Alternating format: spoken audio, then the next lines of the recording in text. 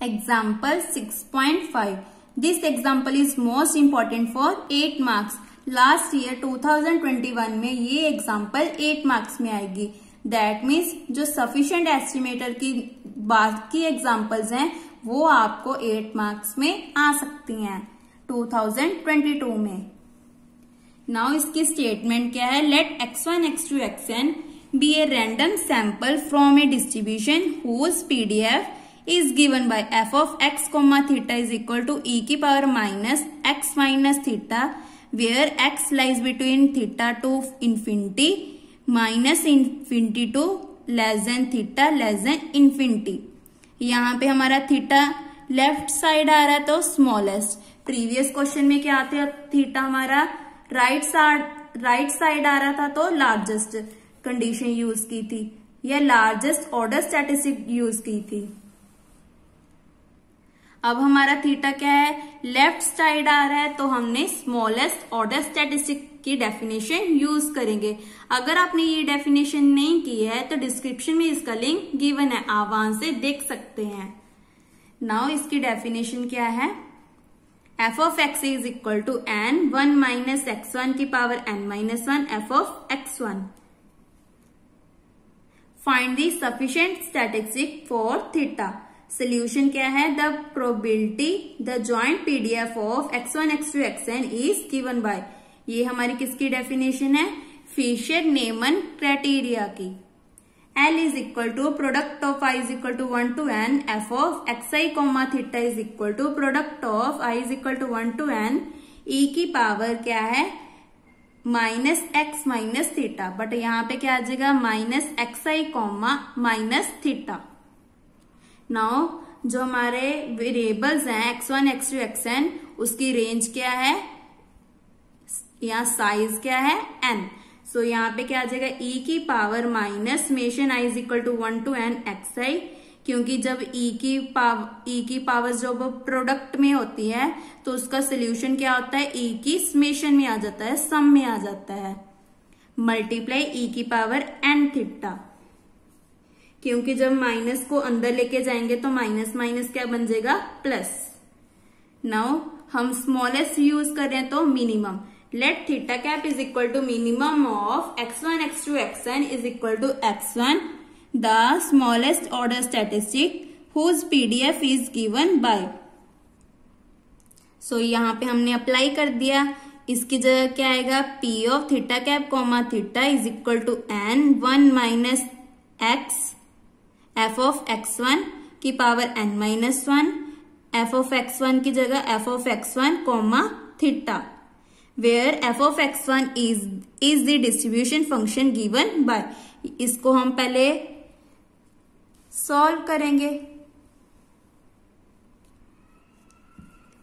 F of X one is equal to यहाँ पे range क्या है हमारी? Theta to infinity but infinity से आगे तो हमारी क्या हो जाएगी? ज़ीरो देन इसको हमने सेपरेट कर दिया।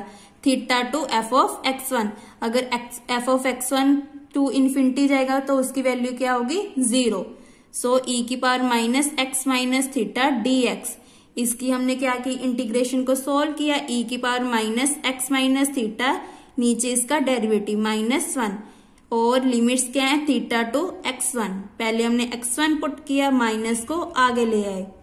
ई e की power minus X one minus theta minus E की power zero. Theta minus theta is zero. E की power zero is one. Now minus को अंदर ले गए।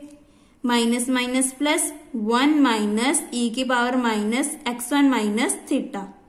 There इसकी वैल्यू हमने यहाँ पे पुट कर दी। एन वन के साथ minus one finish minus minus plus तो यहाँ पे आ गए प्लस एन ई की power minus X one minus theta की पावर एन माइनस वन जो हमारी कॉमन टर्म है, उसको हमने ये, इसकी वैल्यू क्या है? ई e की power minus X one minus theta by definition जो हमें क्वेश्चन में गिवन है। बस एक्स की जगह क्या आ जाएगा? X one is equal to N इन दोनों पावर्स को प्लस कर दिए N minus one plus one is minus one के प्लस वन फिनिश क्या बच गया? एन तो एन ई की power minus N X one minus theta now equation one को हम कैसे लिख सकते हैं? बाय यूजिंग दिस टर्म इस टर्म को यूज़ करके हमने इक्वेशन वन को बनाना है। So one can be written as L is equal to E की पावर एन थीटा ई की minus summation I is equal to one to N X I इसको हम कैसे लिख सकते हैं? मल्टीप्लाई एंड डिवाइड कर दिए एन ई की power minus X minus N X one and divide कर दिया एन ई की power minus X N one और ये term as it is next step में क्या किया? एन को बाहर निकाल दिया ई e की टर्म्स को इकट्ठा कर दिया ई e की पावर्स को। ई e की पावर माइनस एन अंदर क्या बच गया? एक्स वन माइनस थीटा और ये term as it is a को क्या ले लिया हमने? P theta cap comma theta और जो विदाउट थीटा है, उसको ले लिया H of X one X two X N where P of theta cap comma theta is equal to N E की power minus N X one minus theta is a PDF of theta cap is equal to X one and H of X one X two X N is equal to E की power minus mason I is equal to one to N X I upon N E की power minus and X one is a function of X one X two X one only और किससे independent है? Theta से। तो ये हमारी बन गई definition by Fisher Neyman criteria criterion theta cap is equal to x1 first order statistic is a sufficient estimator for theta. Thank you.